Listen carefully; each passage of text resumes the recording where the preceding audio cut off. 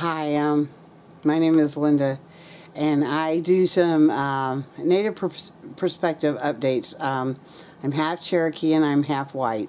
I was raised by Cherokee Indians. Um, the question right now I have gotten is, how do Native Americans feel about their Second Amendment right? And I can tell you that most Native Americans believe that the Second Amendment was created to protect slavery and take the land from the Native Americans. Now I'm trying to update this to about our era now, uh, of which we call civilization. I don't believe we're very civilized at this point. However, this is where we stand. The Indians are getting armed. I know they are. They may deny it. Um, I suggest everyone get armed. I don't care if you're a Republican, a Democrat, a greenie, a bluey, a yellow, uh, whoever you are, if you're inside North America, you better get armed because what's about to happen, I know in, in, in my belief and in my heart, a revolution is just full circle and we're coming full circle again.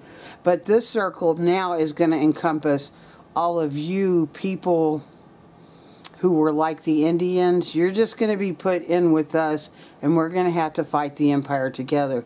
So we all need to get along with all races and all cultures and all religions so we can do this because we can outsmart them. They do have more weaponry than we do and that's why they're trying to keep they're saying oh your weapons are for deer hunting oh no the preamble to the constitution clearly states that a well-armed militia and the people are to protect us from tyranny. So we need to do what was suggested so we don't fall back. Well, we already shackled.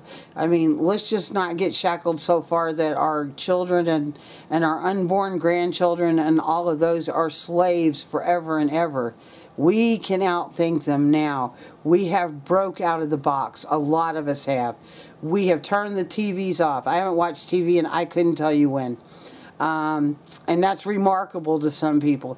But once you get away from the fluoride, the drugs, the GMOs, um, the TVs, the propaganda, things happen and it's magical. And so right now, yeah, I hate to say it, arm yourself because even if it's just a posturing, we will win. And that's my Native American perspective on the Second Amendment. Peace.